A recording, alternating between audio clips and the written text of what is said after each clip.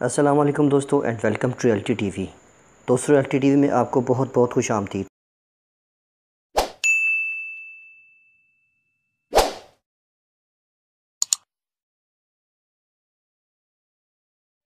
World war to यानी दूसरी जंग अजीम।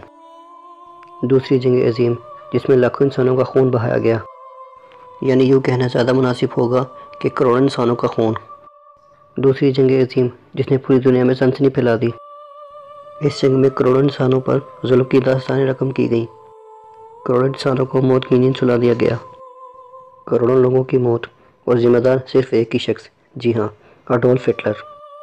दूसरी जंग अजीम में सबसे ज़्यादा मशहूर होने वाला शख्स, लाखों करोड़ों की यहूदियों का कातिल।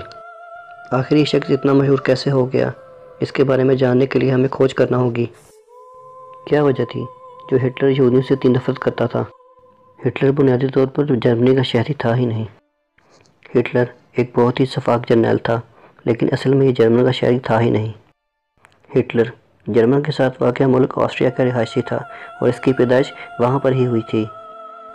लेकिन अब मौजूदा नक्शे के मुताबिक ऑस्ट्रिया और हंगरी अलग अलग ममालिक हैं, जो मुकम्मल तौर पर अलग हो चुके हैं। हिटलर यहाँ पर ही अपने माँ बाप के साथ रहता था। माँ बाप के गुजरने के बाद हिटलर ने पेंटिंग को अपना शोबा बनाया और इसी को अपना रोज़गार बना लिया। लेकिन इस शोबे में जाने के बाद हिटलर ज़्यादा कामयाब ना हो सका। उसकी जवानी का ज़्यादातर वक्त परेशानी के आलम में गुजरा। बेरोज़गारी और तंग दस्ती से तंग आ गया था। हिटलर भी तंग दस्ती की वजह से तन्हाई का शिकार रहने लगा। वो आहिस्ता आहिस्ता एहसास कमतरी में चलता चला गया। इन्हीं आदतों की वजह से वो वैशी और जुनूनी बन गया और इन्हीं की वजह से उसके अंदर सफाकियत आ गई। जब उसने मुसवरी में अपने आप को बुरी तरह नाकाम पाया तो इसने फ़ौज में शमूलियत का मनसूबा बनाया। लेकिन जब वो ऑस्ट्रिया और हंगरी की फ़ौज में शमूलियत के लिए आया तो यहाँ भी बुरी तरह नाकाम हुआ। उसे फ़ौज में भर्ती करने से साफ़ इनकार कर दिया गया, जिससे वो मज़ीद परेशान हो गया। हिटलर बुरी तरह से हालात का मारा हुआ था। जब इसने ऑस्ट्रिया की फ़ौज में भर्ती होने के लिए इम्तहान दिया तो वहाँ भी बुरी तरह नाकाम हो गया। हिटलर को फ़ौज में मुख्तलिफ़ ताने दिए गए, और इसे कहा गया कि तुम इतने कमज़ोर हो कि तुम बंदूक नहीं उठा सकते।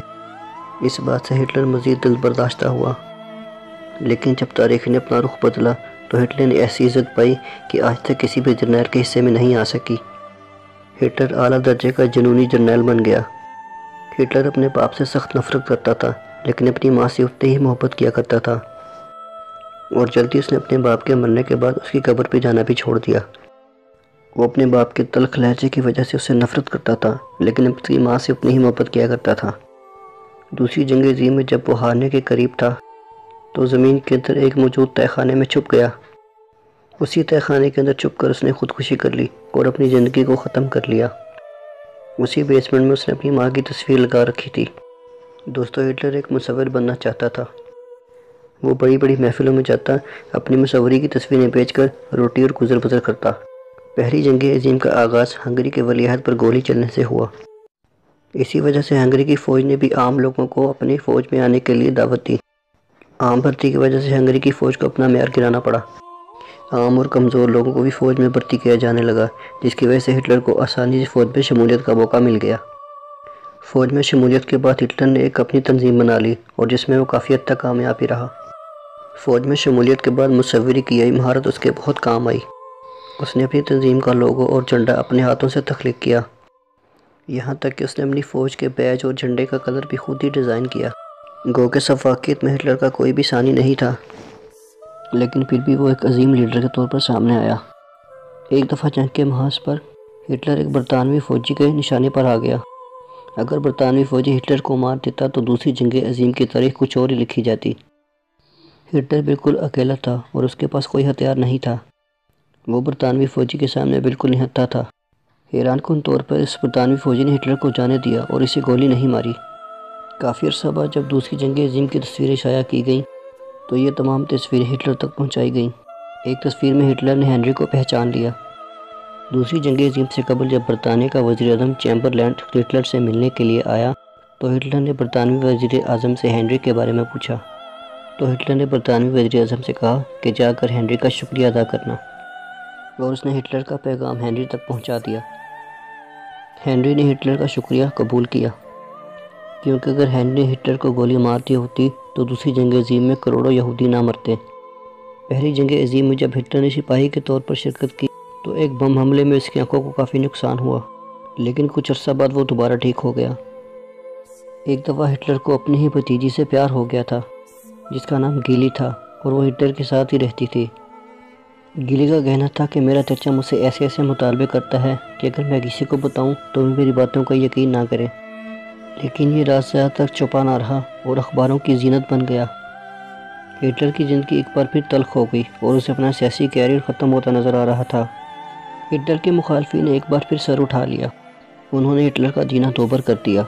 हिटलर के स्कैंडल को हर जगह डिस्कस किया जाने लगा। ये खबर जब गिली तक पहुँची तो वो बहुत दिल बर्दाश्त हुई। फिर एक दिन गिली ने दिल बर्दाश्त होकर जहर खा लिया और खुदकुशी कर ली। सियासी मुखालफी ने मिलकर हिटलर पर कत्ल की कंपेन चला दी। करीब तक हिटलर का सियासी कैरियर ख़त्म हो जाता। वो बहुत ज़्यादा परेशान और डिप्रेस रहने लगा। लेकिन फिर इसी दौरान उसे गिली की हम शक्ल मिल गई और उसने दोबारा शादी कर ली। इस लड़की का नाम एवा ब्राउन था और ये पहले से ही हिटलर से बहुत प्यार करती थी। हिटलर ने एवा ब्राउन से शादी करके मुखालफिन के मुँह बंद कर दिए।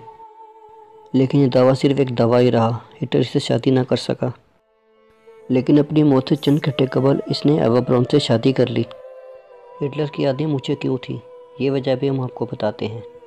एक दफ़ा लड़ाई के मौका पर हिटलर एक खंदक में छुपा बैठा था। कि इसके इतिहादियों ने बम शेल फेंक दिए। हिटलर मास्क पहन रहा था, लेकिन इसकी मूछें इसमें फंस रही थी। फिर लड़ाई ख़त्म होने के बाद इसने गुस्से में आकर अपनी मूछों को छोटा करवा लिया। अब हम बात करेंगे सबसे अहम सवाल पर कि हिटलर को यहूदियों से इतनी नफरत क्यों थी? ये वो सवाल है जिसको हासिल करने के लिए कई किताबें लिखी गई। एक बात यह है कि हिटलर जर्मन कौम को दुनिया की सबसे बेहतरीन कौम समझता था। इसका यह मानना था कि जर्मन एक बेहतरीन कौम है। हिटलर का यह नज़रिया था कि बाकी निचले तबके की सारी कौमों को ख़त्म कर दिया जाए, क्योंकि तरक्की की राह में हायल होते हैं। उस ज़माने में यहूदी गुलामी की ज़िंदगी बसर कर रहे थे। हिटलर यहूदियों को कमतर कौम समझता था। इसके अलावा यहूदियों ने एक बहुत बड़ी गलती की, जिसका खमियाजा उन्हें बाद में भुगतना पड़ा। उन्होंने जर्मनी के ख़िलाफ़ दूसरी कौमों का साथ दिया, ताकि हिटलर को शिकस्त दी जा सके। क्योंकि जर्मनी में रहकर जर्मनी के ख़िलाफ़ काम करना हिटलर के करीब नाकाबिल माफ़ी जुर्म था। हिटलर यहूदियों के पुराने वाक़ात से भी वाकिफ़ था, कि कैसे उन्होंने अल्लाह के नबियों और पैगम्बरों को भी तकलीफ़ और अजियतें पहुँचाईं। उनसे मनाजरे किए, उनको तकलीफ़ पहुँचाई। उन्हें दुख और रंज दिया। एक ईसाई होने के नाते उसे यह भी यकीन था कि कैसे यहूदियों ने हज़रत ईसा इस्लाम को फांसी दिलवाने में कलीदी किरदार अदा किया था। इसीलिए वो यहूदियों को एक लान रजा कौम समझता था। वो यहूदियों को हलाक करके दुनिया को इनसे पाक करना चाहता था। हिटलर को यहूदियों से इसलिए भी नफरत थी क्योंकि उसके ऊपर इल्ज़ाम लगाया जाता था कि वह खुद किसी यहूदी के नजायज़ वलात है। लेकिन मौरखीन इस बात को ज़्यादा अहमियत नहीं देते।